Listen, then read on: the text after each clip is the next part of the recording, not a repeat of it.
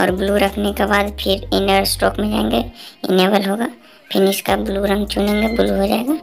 और इसको उसी पर सेट कर देना है और सेट कर देना है।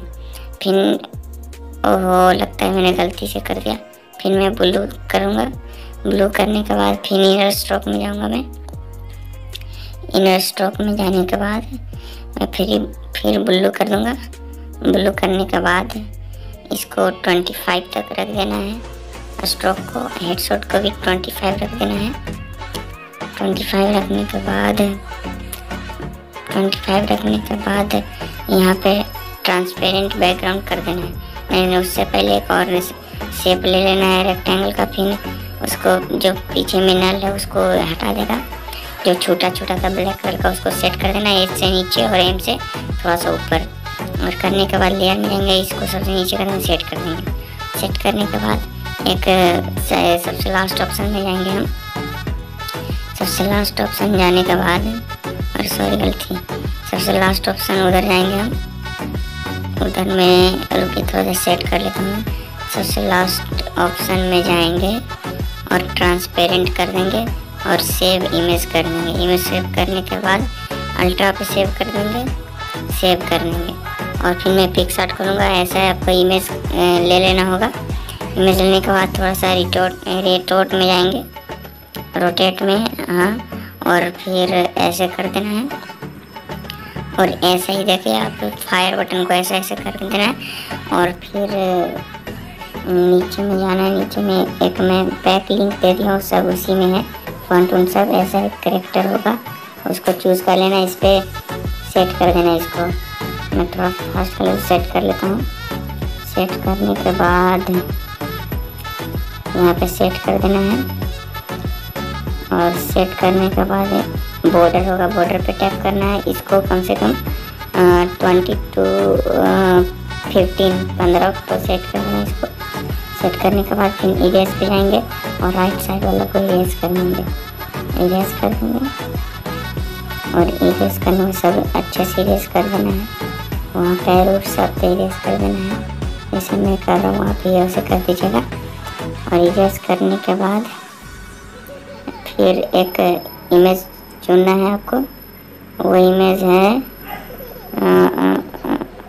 हाँ ये बैकग्राउंड ये येलो वाला पीएनजी चूजना है, सब पैक में होगा। पैक से आप डाउनलोडिंग कर लेना। और जैसे जैसे मैं रिटो रोटेट करूँगा और जैसे जैसे लगाऊँगा, वैसे वैसे आपको लगाना है।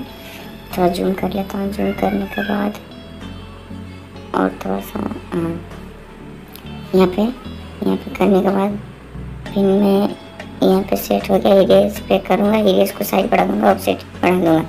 और इरेज करके ये राइट साइड वालों को इरेज कर दूँगा और लेफ़्ट साइड को रहने दूँगा। लेफ़्ट साइड रहने के बाद फिर ब्लेंड ऑप्शन पे जाऊँगा। ब्लेंड करने का स्क्रीन कर दूँगा। देखो ऐसे कर देना। और फिर आपको करना क्या होगा? सबसे पहले फिर आपको वही फ़ोटो चूज़ करना होगा, जो मैंने पीला वाला लिया था। पीला वाला लेने के बाद, पीला वाला पीएनजी लेने के बाद हाँ पी एन जी होगा उसको ले लेना है।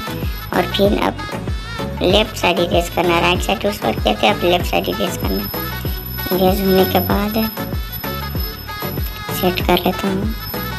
फिर सेट होने के बाद सेट होने दीजिए। फिर मैं इरेज करूँगा।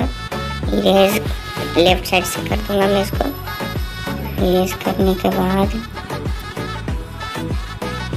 इरेज हो गया। अच्छे से इरेज करना है। हाँ अच्छे से इरेज करने के बाद फिर आपको ब्लेंड कर देना। है ब्लेंड ऑप्शन में जाना है। ब्लेंड इसको कर देना है स्क्रीन में। और इसको सेट कर देना है। सेट करने के बाद आपको एक और फ़ोटो चूज़ करना होगा जो आपको मैं पैकलिंग में सब दे दिया हूँ।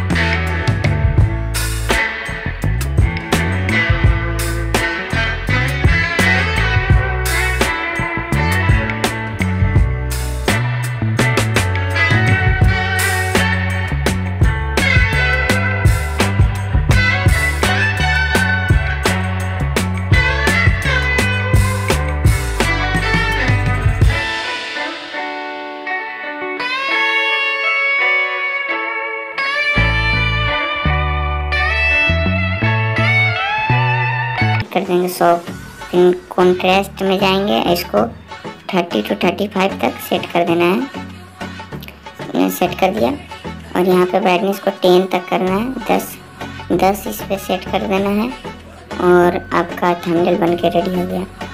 और थंबनेल अच्छा लगे तो मेरे चैनल को सब्सक्राइब कर देना और बेल आइकन को ऑल पर सेट कर देना, और मिलते हैं अगले वीडियो में। और की, और कैसा थंबनेल चाहिए आप मेरे कमेंट बॉक्स में कर देना, मैं आपको बनाकर दे दूँगा आसान तरीक़ा से तब तक ये बात